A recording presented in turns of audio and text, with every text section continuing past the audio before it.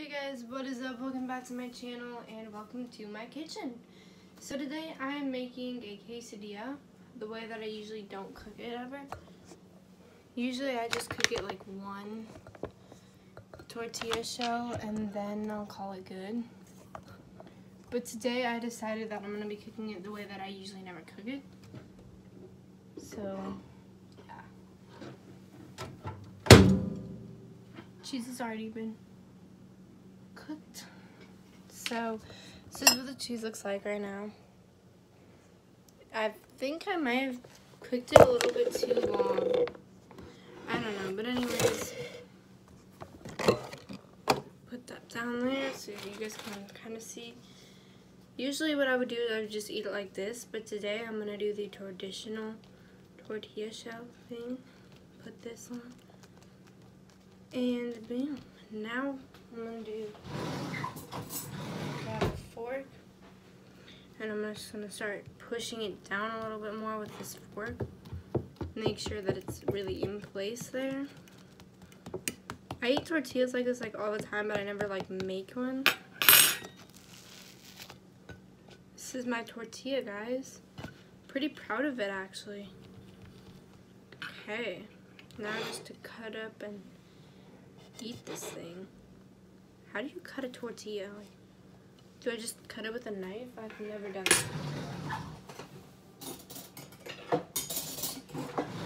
So I'm just gonna cut it with this knife.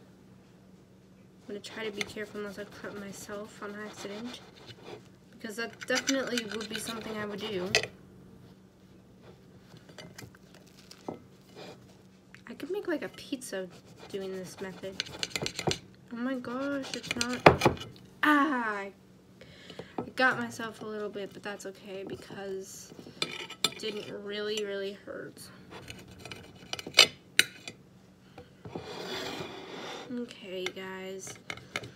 So I get that this is kind of like a random video, but I thought I would just kind of vlog me doing this, or not vlog, but like make a video of me doing this, because I usually don't eat like this.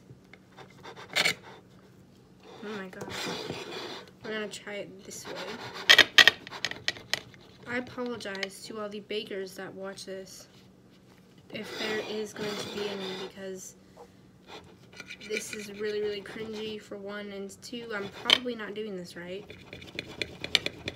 But just so you guys know, I am only 14 and don't really know what I'm doing, so right here. Alright, now we're done with that. I'm going to put that in the dishwasher. So now it's time to try it. So now I'm going to try this. I hope it's good, but it probably won't be. Mmm. It's actually really good. I'm gonna give this a 10 out of 10. If you guys want me to like cook more, then please comment down below. And yeah, bye guys.